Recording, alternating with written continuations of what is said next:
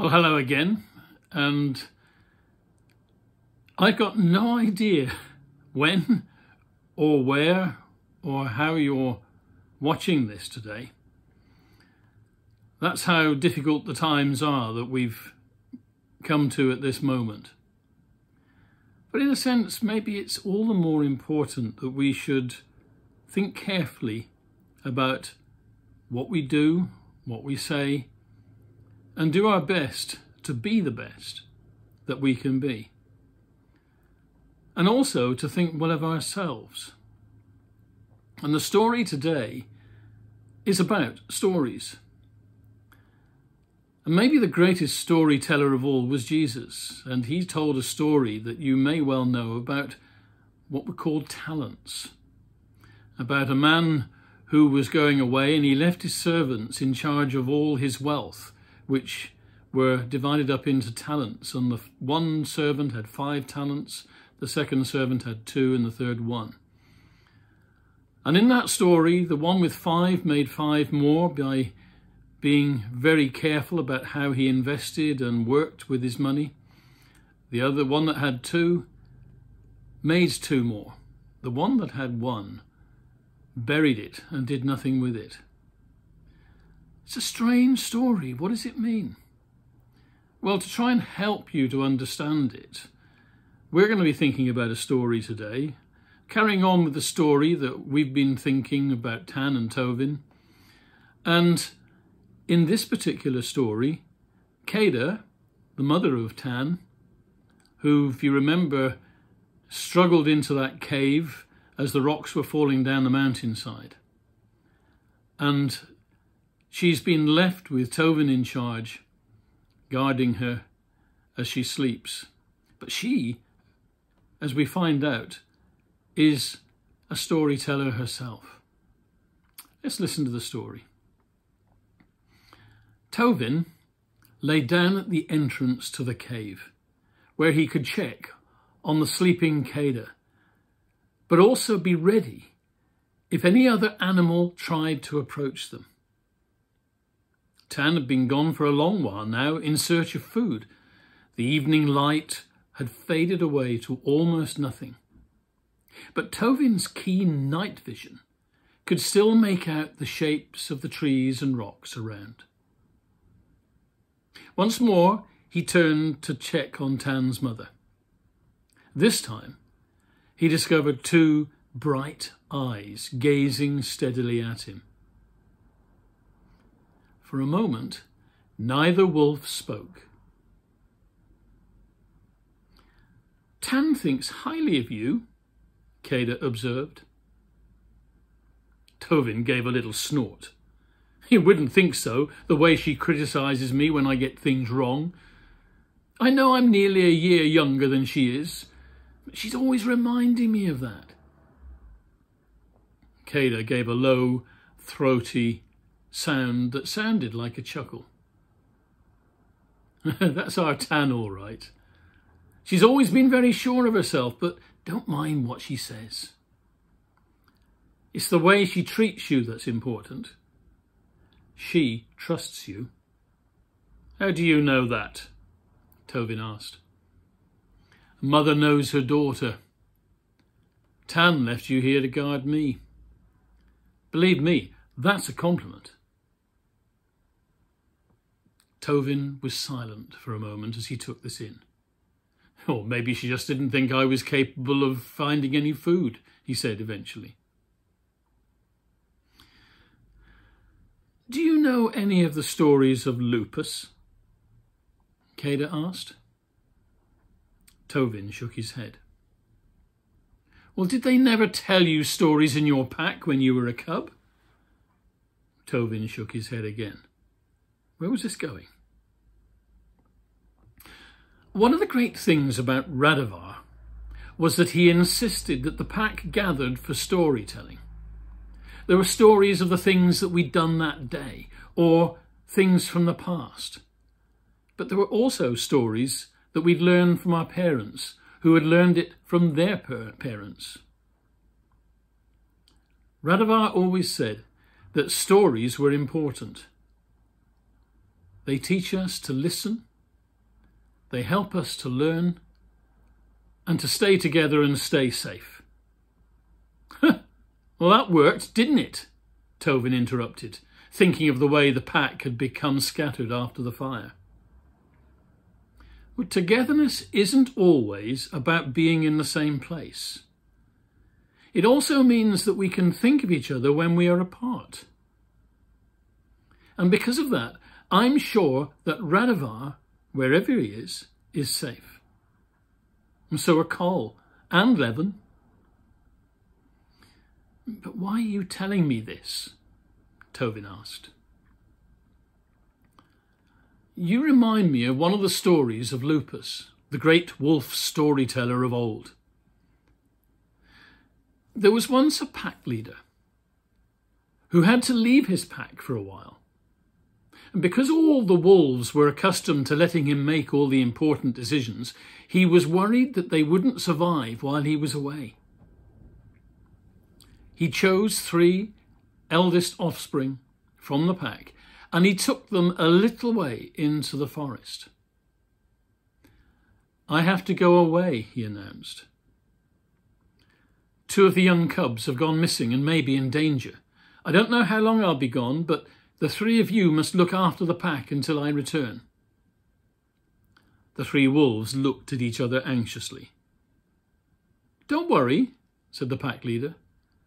I'll give each of you a gift so that you can do what you need to do. And so to the first wolf he gave the gift of great strength and power to catch prey.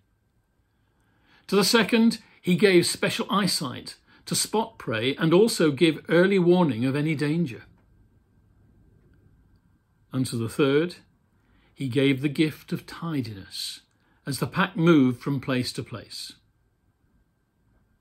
And with that he left the pack.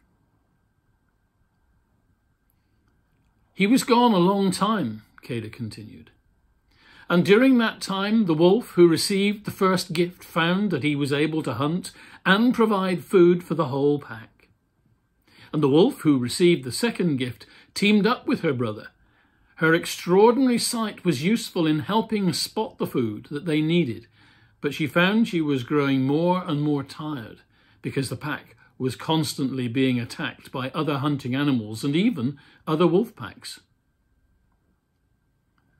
The third wolf looked at the other two and was jealous of their gifts. He thought that the gift that he had been given was less important than the others and not the kind of work that he should be doing. What did it matter if they left traces and tracks and signs behind them? Well, gradually the pack began to weaken as they were unable to work well together. Then, unexpectedly, their leader returned. He found the pack looking hungry and tired. The first two wolves looked thin and worn out from all their efforts to, to use their skills. The leader noticed bears and other wolf packs who were stalking them and stealing the food before it could be consumed by his pack. And to the first two wolves he said, Well done. I can see that you have worked hard and put every effort into doing what I asked you to do. Then he turned to the third wolf. I've been following you for several days. I know exactly where you've been and what you've eaten, or haven't eaten sometimes. I've been following you, and you have done nothing. The third wolf drooped his head, said nothing. You are lazy and proud. You think your job was too unimportant for you to do. And now look at your pack. You have put their lives in danger. And the pack leader chased the third wolf out of the pack and into the wilderness. An interesting story, Tovin responded. But why are you telling it to me? Keda looked at Tovin for a moment. you're very sensitive to what Tan thinks. Or rather, to what you think she thinks. It's good that you do not think how good you are, but you must also value what you are good at. The third wolf was disappointed at his gift. He thought being left to tidy up meant he was less important, that he was worth less than the others in the pack. Never think that you are worth less than any other wolf. Find what you're good at and always, do your best with it. Tan knows that, and so must you. Tovin, you're very quick to sense danger before others are aware of it. That's why you are here and she is hunting. You make a good team. And just at that moment, the hairs along the back of Tovin's neck began to tingle. His ears went forward. He sat up, searching the darkness beyond the entrance to the cave. Something out there was moving around. And it didn't sound like another wolf.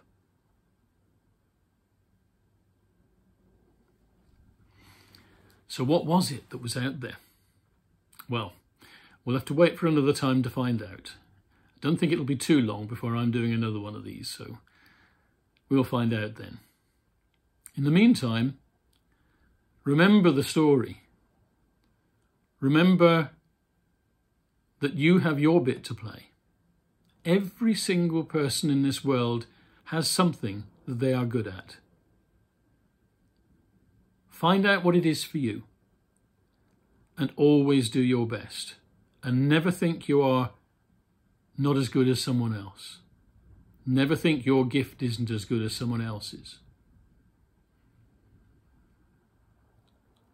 And if you make the best of it, like the parable of the talents that Jesus told or the story that Keda told, then it will benefit you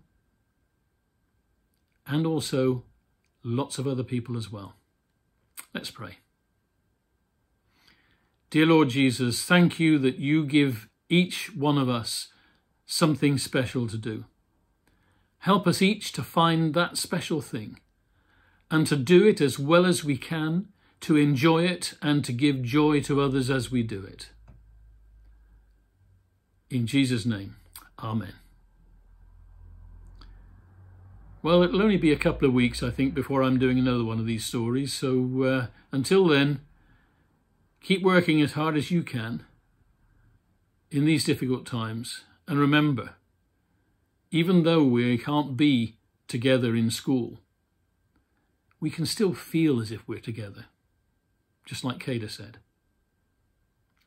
God bless you.